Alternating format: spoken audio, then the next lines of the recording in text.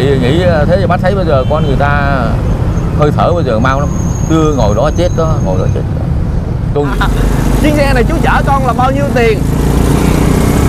Vài à, triệu vài triệu thôi. Ăn ăn con là bao nhiêu tiền? Ăn ờ, anh ờ, mười mấy hai chục triệu mới ăn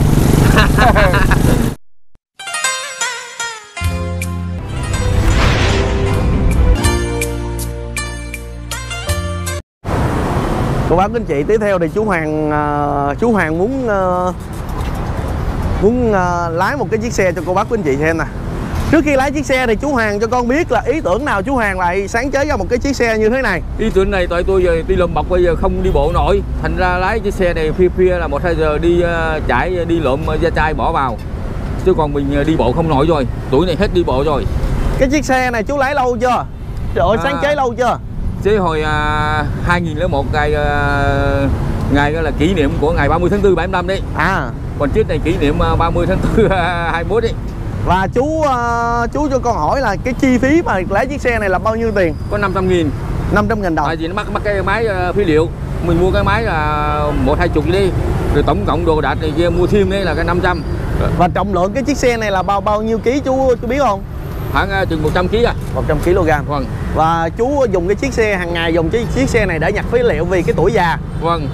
Chiếc Và- xe này thì phia đi làm phế liệu hai ba giờ đi. Còn con ngựa này thì chiều chiều mát thì tập thể dục cho nó tốt đôi chân đấy.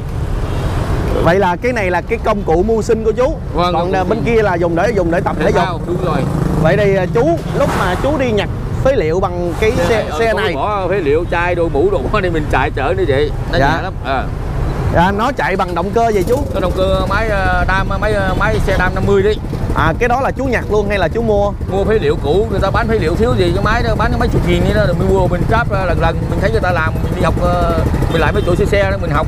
Mình thấy người ta máy mình ngồi mình về mình coi. Chú gấp bao nhiêu năm? Cái này thì sao thì đồ đạc này chuẩn bị cũng năm rồi. Dạ rồi chú chạy chạy đi. Chút xíu con sẽ bắt bắt cái dựng này lên nha dựng này để con con đó không có dựng này đây qua đây qua đây qua đây đây đây. Để qua đây để con cho. À. giờ bắt đầu tái nha. Việt Nam à, Việt Nam à, Hồ Chí Minh. Hồ Chí Minh muôn năm muôn năm. Và đây là lá cờ của Việt Nam. Vâng. Hình ảnh ở trên này là những cái lá cờ và bây giờ giờ một ờ, lão nhặt phế liệu ờ, chú sẽ nhặt phế liệu và chú lái cho cô bác của chị xem. Rồi con mời chú.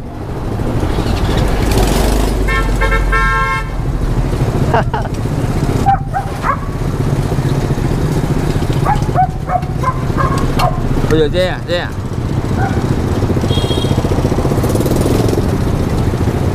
thôi chú chạy tới đằng đó được không? Được được để che chạy che chập che che đi rồi thôi có vô lăng luôn á cô bác của chị bây giờ tới là tới đi.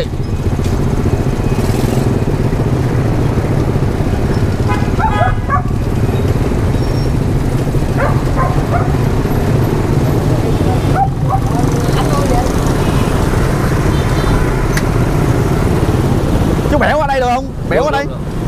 bắt qua đây qua đây. Qua đây qua đây. Dạ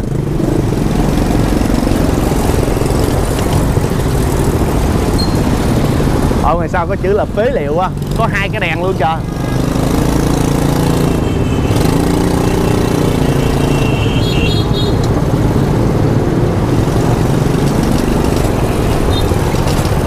lái xe này vui không chú Hoàng? Vui vui. Giáp phê đi một trống trơn không có ai cản trở mình. Con ngựa cũng thế. Là phế liệu là chú để ngoài sau lưng này đây. Con để liệu bỏ trong thùng ấy đồ da tay đồ kia lặt chặt đấy. Chú đề sao đâu? Chú đề chú tắt máy quay lại giùm con ơi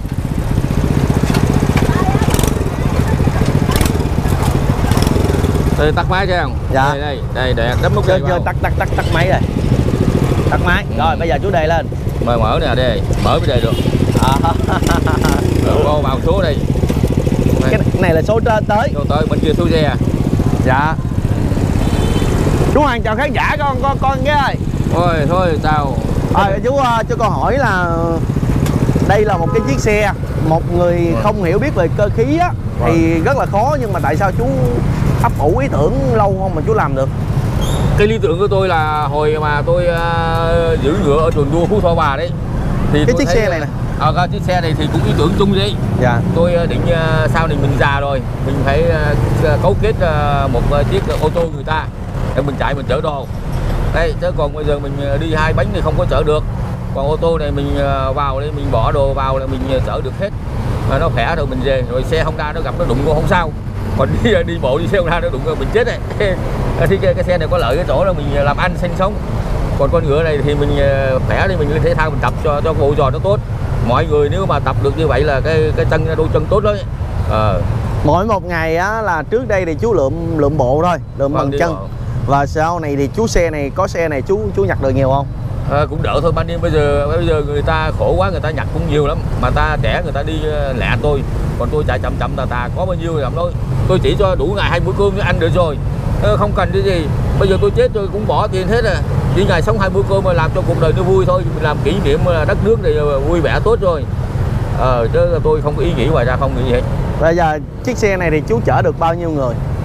À, bốn người được bây giờ con với chú thì cùng đi chung lên chiếc xe được, không? được, ờ, được và đây là cái phần mà chú nhặt phế liệu đây phải Ờ, không? bỏ vào.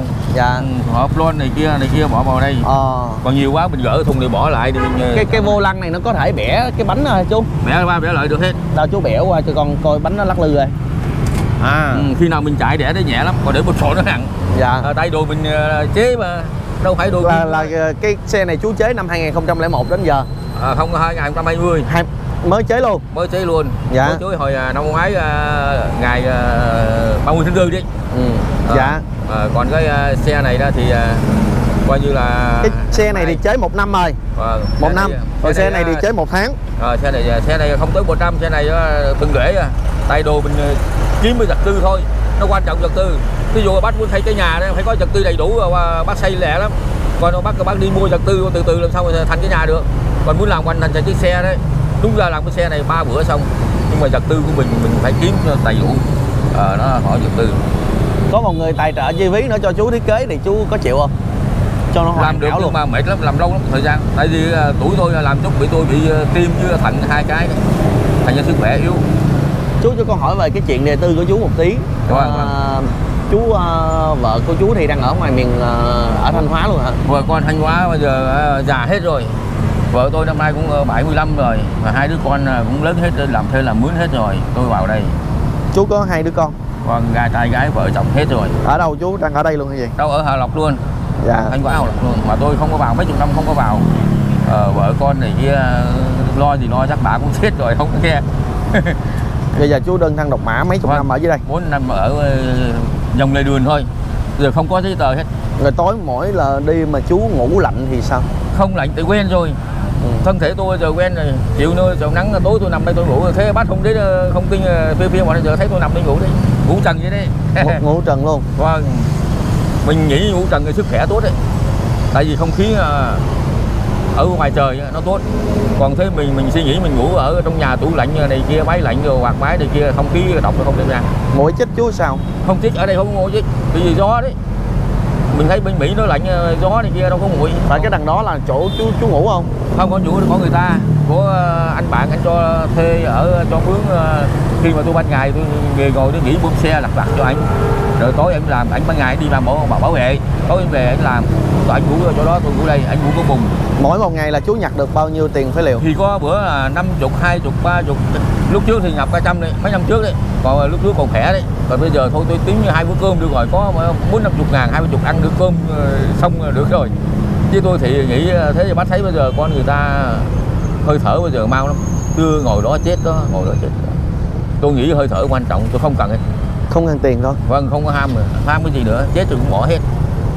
Ờ, của thế gian là tạm bỡ thôi. Thế mình sống mình làm cho tốt mình được về thiên đàng chúa giúp mình còn mình sống mình à, điểu láo này kia mình không có về thiên đàng được. Về thiên đàng kiếp kiếp sau mình đầu thai là có người giàu sanh trung tướng này. Thế những người giàu hôm nay là kiếp trước người ta có cái à, nhân đạo phước đức. Còn những nghèo người nghèo khổ như tôi kiếp trước cũng là nói sốc nói láo rồi trộm cắp này kia giờ này đây phải khổ. Cái, cái nghiệp quả đấy. À, thế mình à, trồng à, à, chuối ăn chuối trồng ớt ăn ớt. Cho nên con người ta sống phải có cái đạo đức là trên nghĩ là nhờ do sống ờ, hơi thở nhất là quan trọng. Vâng. vậy thì bây giờ là do chú nghĩ là do kiếp trước chú mình chưa có tu tập nhiều. Vâng đúng rồi đúng rồi. Lúc trước mình làm ác quá nói dốc nó lao. Ê, còn những bác cùi què đuôi hồi trước trước là giết người. À, mình có thể dây quan trái. À, nhân quả là có hết thế gian nhân quả hết. Cho nên mình khuyên các người lên ăn hiền ở lành đi. Đó, mình lại ở ngay thẳng đi. Thế mình ở ngay thẳng thần linh bảo hộ ăn ở gian xảo thì gặp nạn tai. Con người mình ở là thí dụ bác thấy bây giờ cả cả chục nghìn tỷ đi ta đi máy bay trước cũng chết. Rồi người ta bệnh hoạn đau gan đau phổi tiểu đường cũng chết. Đó thấy không? Đó, còn như tôi là tôi giữ gìn sức khỏe tôi không ăn đồ tầm bậy tầm bạ à, ăn trái cây nhiều. Đó, thành ra sức khỏe tôi là bảy mươi mấy tuổi mà tôi còn khỏe được và làm được. Chú bây giờ là chú ờ, có cảm thấy ờ, mừng cho cái cuộc đời của mình không? Tôi rất vui cuộc đời. Hôm nay tôi còn nhìn được ngồi đây còn thấy tất cả mọi người còn thấy được các anh đến đây là hỗ trợ à, phỏng vấn tôi. Đó là một niềm vui của tôi lớn nhất cho nên là thế tôi con người không có ghét không ghét bỏ một người nào. Người ta cũng như mình thôi. Từ cái người đi lượm bọc, lượm chai chai tôi cũng quý trọng người ta là con người mà. Tại cái nghiệp người ta, đúng không? Cái nghiệp người ta người ta phải chịu thôi. Chứ mình ghét bỏ người ta làm gì? Tôi nghĩ tôi về thiên đàng là trên hết. Giờ tôi không tham ai một cách tôi thiếu nợ anh một nghìn, tôi phải kiếm tiêu trả. Để sau này tôi bắt nợ. Tôi nợ nợ anh một nghìn, tôi tôi mới về thiên đàng được. Còn tôi thiếu một anh một nghìn sao tôi về được? Cho tôi về địa ngục này có không? Vậy, vậy chú ở đây vậy chú tắm rửa đâu chú? Thế, thì lâu lâu mới tắm xuống sông đây nước thiếu gì thế là mình ờ, xuống sông bên đây mình tắm nước thiếu gì tắm như sông? Vâng đúng rồi. Thế cần vệ sinh? À vệ sinh cũng đi dưới luôn đây đây gần xịt đi. Dạ. Có à, cầu hầm đồ thì thiếu thiếu gì. Ôi coi như cái chuyện đó thì mình tự ai nấy lo. À, à, không có gì khó cả. Khó có cái mình không có chịu mà làm cho tốt ờ, cái thế gian này thôi ở cái thế gian này mình làm tốt thì cái gì là cũng uh, tốt hết. Thôi bây giờ chú hai chú cháu mình chú chở con đi một vòng lại kia. À, rồi rồi bắt rồi bây giờ mình sẽ cũng giống như chiếc xe ngựa kia. Vâng, thì vâng. bây giờ bùi hồ cùng với lại uh, chú hoàng bảy uh, sáu tuổi thôi. Và sẽ trên một cái chiếc xe như thế này. Sẽ bắt đầu hành trình đi lại đằng kia. Xe này chỉ chạy ở trên vỉa hè thôi. Chạy trên đường chứ công an không biết bắt không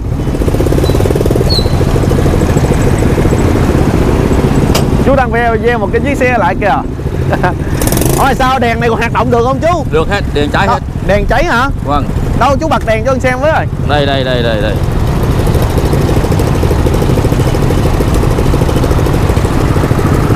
Đâu chú? Đây coi, coi nó cháy kìa, cháy chưa? Chú đang bật đèn Cháy chưa? Chưa cháy Chưa cháy hả? Dạ Cháy chưa?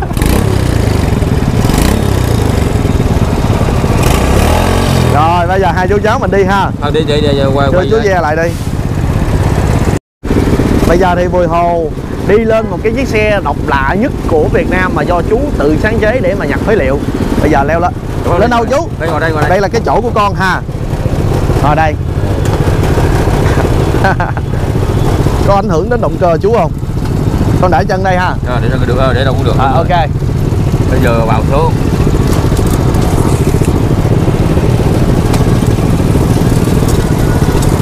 đi xe nào không quan trọng mà quan trọng mình có thích hay không hay chú Hoàng ha. Vâng đúng rồi. Chú chạy đằng tới cái cột điện gần gần kia chú quay lại. Ôi xe này đi im ghê chú. Vâng đúng rồi nó có phụ đúng đàng hoàng chứ. Ồ đi không có bồng luôn á. Ừ. nhưng mà cái chỗ ngồi thì chú thiết kế lại thì nó hay hơn á. Mình để chở đồ chở đồ không có quan trọng dạ. Còn mình không chở đồ mình thiết kế chỗ ngồi. À. chú cho con mượn cái nón này nón lá cho đẹp trai rồi. Chú có nón nhỏ được rồi ha. Ừ.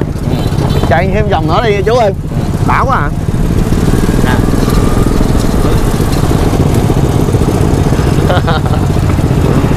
Ai ai ai. Con con con con con con con luôn ngồi luôn rồi chạy một đường luôn về lại về lại không không không con luôn chạy luôn chạy luôn. Ô chạy luôn chạy luôn. Chạy chơi luôn mà. Chạy luôn bên kia công an bắt không không không không. Nó biết xe này mà. Biết hả chú biết. Dân này xanh đèn đỏ luôn kìa. Ôi có kèn luôn. Vâng vâng vâng trời ơi. Mấy anh kia nhìn có trời nhìn chú hai chú cháu mình cười chú. Chiếc xe này chú chở con là bao nhiêu tiền? Chú vài triệu vài triệu thôi. Ăn ăn con là bao nhiêu tiền? Ăn anh uh, mười mấy hai chục triệu mới ăn. Oh, lần đầu tiên mà đi, đi chiếc xe gì đã ghê á. Ôi tốc độ nhanh lắm á cô bác anh chị. Oh. ôi. Ôi. sướng ghê luôn chú Hoàng với ban đêm mình đi lượm mọc mới được. Dạ xe ngựa này chú không dám đi xuống đường ha. Đi hết luôn rồi. Xe ngựa đứng đường được luôn hả? Được hay tối tối chín mười giờ ra ít đi mình đi được hay nhưng mà ít đi ban ngày ha.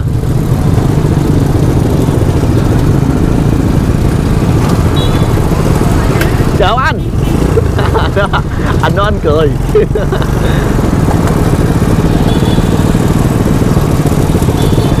này chú gọi là ờ, ô tô tự chế ha. Ô, ô, ô tô mini. Ô tô mini.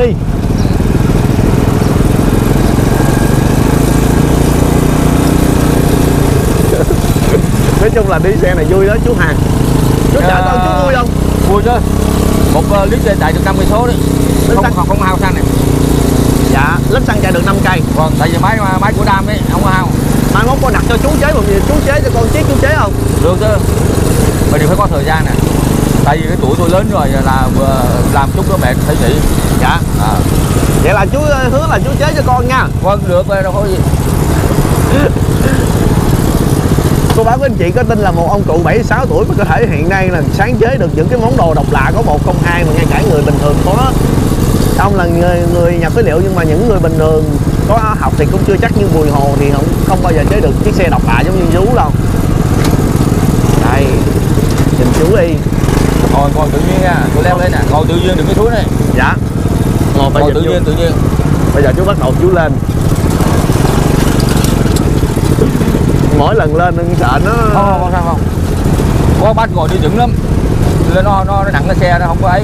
Còn không có anh ngồi nghiêng cái xe. Hai người ngồi là chạy vững ha ờ. Đã quá rồi. Rồi con ngồi hay là xuống? Ngồi đây thằng này đẩy đẩy đẩy đẩy du chút đi cho qua chút đi.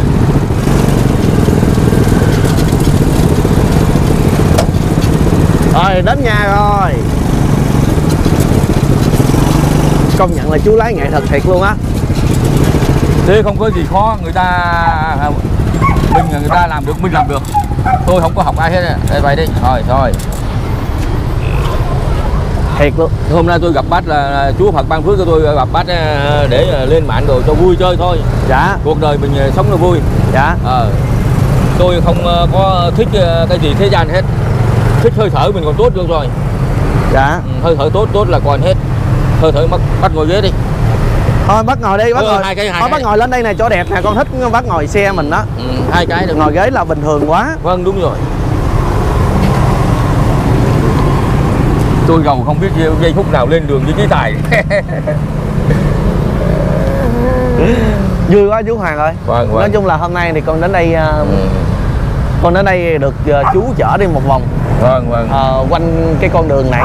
Vâng. Đó thì điều đầu tiên mà con con phải nói là con phục chú về cái tài sáng chế của chú ờ, là cái thứ nhất thứ hai là cái ờ, cái chấp nhận buông bỏ của chú sống ở đời hơi thở và sức khỏe là Vâng, quan trọng vâng, nhất. đúng rồi.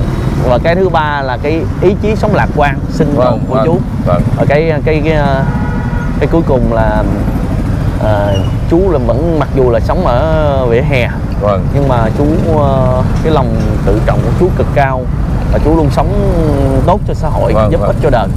Ờ, con nhớ cái câu của chú là cái việc mà giúp người nào được giúp Vâng, người nào rồi. cũng phải thương dù, Vâng. dù đứng ở góc độ nào của xã hội. Vâng. Đó thì con nói chung là con cũng rất, gặp rất là nhiều người và hôm nay chú thì cũng là một trong những cái người mà con gặp. Tôi ờ, xin uh, xếp bắt một câu thế này. Dạ. Loài người chúng ta trên trái đất này là đều như nhau đều ai cũng muốn có sự sống hết cho nên là tôi không ờ, coi người nào là kinh rẻ bất cứ hèn nhào vào tôi cũng coi là con người. Dạ. Tôi mới về được thế nào các Dạ. ông thầy tu thầy chùa cha gì họ còn phân biệt họ còn tự ái còn đối với tôi là không có. Loài người chúng ta sống ra mình biết tôn trọng lẫn nhau biết thiên yêu lẫn nhau dạ. à, biết giúp đỡ lẫn nhau. Ai cũng chết thôi. Ờ, bây giờ nói anh cho anh giàu tiền tỷ anh rớt bye bye cũng chết. Rồi anh bệnh hoạn đau gan đau phổi đau tim cũng chết. Bác thấy có người nào sống đến 100 tuổi không à, ông ông Phật thích ca còn chết Chúa Giêsu còn chết. Nhưng mình sống làm sao có đạo đức con người phải có một cái tấm lòng về yêu tổ quốc yêu đồng bào. À, đừng theo mà bọn cỏ, cỏ đừng theo mà nghe lời bọn xấu hại vào thân không có tốt. Mà hại được cái gì? Người những người nào tu muốn về thiên đàng thì nên cởi bỏ chuyện thế gian. Chuyện thế gian một ngàn là một chuyện không có tốt. Mình không nên quan tâm tới. Mình quan tâm hôm nay ngày hai bữa cơm hơi thở tốt rồi. Đó ý tôi là như thế thôi. Còn cái việc tôi làm để vui vui cho xã hội thôi. Nên chứ mà bác thấy Cần Thơ này có ai mà đi đến chụp hình hỏi đâu? Bao nhiêu người? Mà chỉ có mình tôi đó là điều tôi rất là hân hoan là các người hâm mộ tôi rất là cảm ơn chia sẻ cho tôi tôi rất là vui rồi. Ờ, không còn gì hơn nữa khi tôi chết rồi nhắm mắt chết tôi cũng mừng. Mà khi tôi chết rồi ờ, tôi phải biết bác ở đâu tôi tặng hai bác hai món này luôn. Để à, Tặng luôn. bác à, bây giờ người ta có tiền tỷ người ta chết rồi à, như tí tài rồi giàu có tiền tỷ chết rồi cũng bỏ hết. Tặng luôn chứ Ờ, không tặng bán. luôn cho bác. Ờ, bán cái gì Ờ, tặng luôn rồi bác cứ là đi chơi ờ, ờ, dạo phố thì vui vẻ rồi chơi. Kỷ niệm mà không có gì khó. Quý quá rồi. Vâng, đúng rồi đúng rồi. Ê, hôm nay thì con đến đây. Vâng. Trước là con ờ, xem được cái sản phẩm chú và sau đó thì con được biết được cái ờ, cái, cái, cái, cái ý nghĩ tư tưởng tư tưởng của chú ờ, cũng của học con được rất con học là được rất là nhiều điều. Vâng, vâng. Và đối với xã hội này con cũng giống như chú. Vâng. Ờ, quan trọng nhất là sức khỏe. Đúng hơi và thở hơi thở. hơi thở và ăn Vâng. vui. Ừ. và hôm nay thì con đến đây con đại diện cho anh được. Anh được không ngự gửi cho chú 500 ngàn. Vâng vâng. Gửi cho chú 500 bây giờ à, tôi xin à, cầu chúc là Chúa Phật là gia hộ ban phước cho bác được nhiều sức khỏe gặp nhiều may mắn trong cuộc đời này và bác luôn là gặp những cơ hội, cơ may tốt, đem đến cho bác những cái điều lành, điều giữ xa đi, điều lành đem tới. Và xin ờ, Chúa Phật ờ, ban cho bác được ờ, bình an đi trên mọi nẻo đường đất nước, để mà là làm cho mọi người dân đều hiếu kỳ, đều vui vẻ. À, xin à, cảm ơn bác. À, Amen mô Phật. Amen. Đây. cái phần này là của anh được ở Hồng Ngự gửi cho Vâng, chú vâng. ha. Anh được ở Hồng Ngự. Tôi cũng cầu chúc à, anh đó cũng được. Dồi dào sức khỏe bình an. Nhờ Chúa Phật ban phước cho tất cả loài người trên trái đất này rồi. À, xin cảm ơn à, bác đấy. Thôi con à, một lần nữa con xin phép con chào chú. Chúc chú Vâng. có một sức khỏe dồi dào và Vâng. luôn lạc quan với tinh thần yêu đời như thế này để cho ra những cái sản phẩm tốt hơn. Vâng. À, để khi mà đến trăm tuổi già thì chú vẫn thấy vui. Thôi tôi nói bác đây đi khi nào bác đến đây bác Dạ. thấy tôi còn còn sống ngồi đây là còn tôi. Còn không thấy tôi là tôi mất rồi đây vì tôi ở đây là coi như là tới lúc hơi thở cuối cùng. Dạ. mà hơi thở tôi không biết giây phút nào không có nói tới ngày mai lát nữa. Có thể tôi ngồi nói chuyện với bác gì cái là đứt thở tắt gan nghe. Bây giờ người ta thiếu gì chuyện đó. Dạ. đó, nhưng mà bây giờ quan trọng sức khỏe con người cho con à, xin phép con bắt tay Rồi, chú rồi, cái rồi, nha. rồi rồi. Thế đây, Rồi. đây là gửi Dạ. tiền rồi, quay luôn là cho ta thấy tiền nè Dạ. Đây, về con xin tại một máy cầm ờ, kêu máy quay cô bác quý anh chị. Một lần nữa thì ờ, chắc có lẽ là sẽ kết thúc video clip này trước khi tạm biệt chú Hoàng. Vâng. chắc có lẽ là một thời gian sau con sẽ quay tìm lại chú và gặp lại trên chiếc xe này sẽ đi Vâng. đoạn đường vui giống Ờ, như lúc nãy. thế bác thấy à, đi đâu mà thấy thấy xe này còn con ngựa còn rồi tôi là tôi còn. Thấy mất là tôi mất. Dạ rồi Vì chào. tôi mất ở nhà nước lấy rồi bỏ hết. dạ con chào chú nha. Ờ, thôi chào bác chú chú ờ, Phật ờ, ban ờ, phước bác đi về bình an nha Dạ.